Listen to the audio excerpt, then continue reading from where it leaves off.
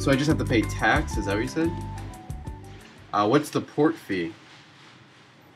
Okay, and if I'm keeping anyone in my luggage or suitcase, do I have to pay their port fee? You gotta pay the port fee, which is due time of booking. I'm setting the government tax, which is $94 per person. Okay, so if I'm keeping animals or people within my luggage, I don't have to worry about them. They're just they're going through. That's fine. Okay, great. My wife's pretty small; she can fit in there. Uh, so it'd really just be for w- one person. Okay.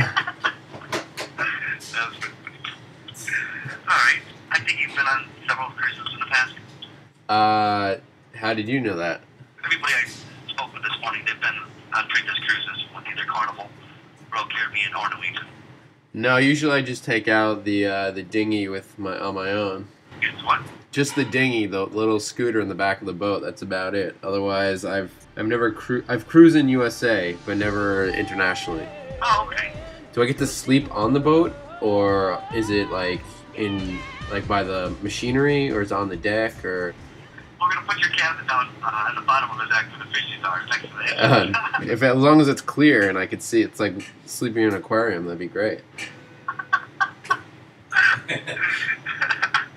no, unfortunately, um, we hope to get your business back as a, as a loyal customer. Meaning we're gonna put you on the fifth and sixth deck, which is in the middle. Okay, and where are we going?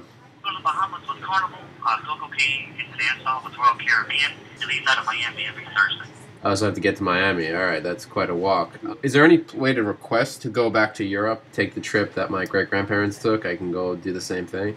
Uh, no, we don't have any trips uh, from Europe. I've heard like for cruises that usually the staff is the one always like fooling around after hours. Are there any on board women that are noted to be loose that could help me out? sure, sure. I mean, it's all depending on how lucky you are that day, of course. Okay, see that's the thing. I'm a pretty unlucky guy, so I want to have the odds put in my favor. So, so Uh, when you once you're in international water, I know you can gamble. I don't know what, if like other rules are allowed to be broken at that point.